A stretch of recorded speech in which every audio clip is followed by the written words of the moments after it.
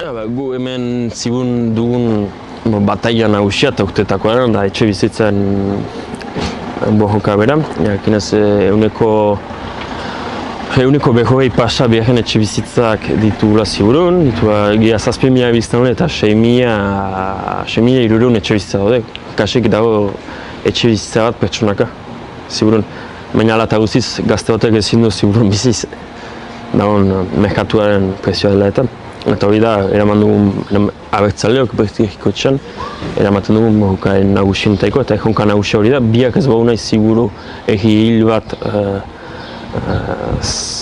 zakez betea, baina ez dut inungo da zuik azakekin, eh?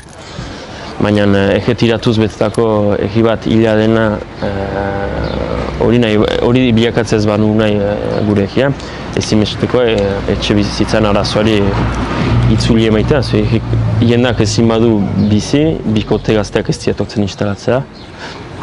Ez dut aurrek egiten, ez dia ikastolara egiten, ez da eskolik, ez da deus.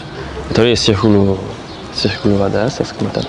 Eta hori da dugun egonka nagusia, guk hemen enaman ginen bataia uh, biharren etxe bitzen gain zergatzea baten alde, hau uh, erriko txaurka zena, azkenean hortik bi urtera uh, onartu zuen eta aplikatu zuen eguneko behikoa, eta aurten legeak baimentzen digu eguneko euro gehira igotzen ez, gain zergatze hori, eta gune egin nuen eguneko euro gehira uh, igotzea.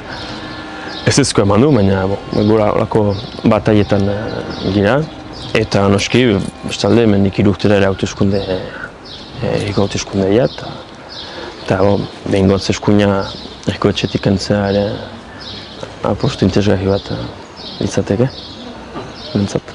Jakinez, anok maila bat izan dela eskuina izaita, eskuina bimian instalatu zen. Eta ja, hiru mandatu izanen dira. Ziburu beti izan delako egi, ezkerreko egi bat, ba, ba, kanduako historia industrial bat, e, portuari lotua ez. Eta azken batean ekonomiak ere ba, politika aldatzen du ez. Ba, ekonomiaren aldaketak, populazio aldake bat eman du, eta populazio aldaketak ba, erriko ere kolorea aldatu arazi du.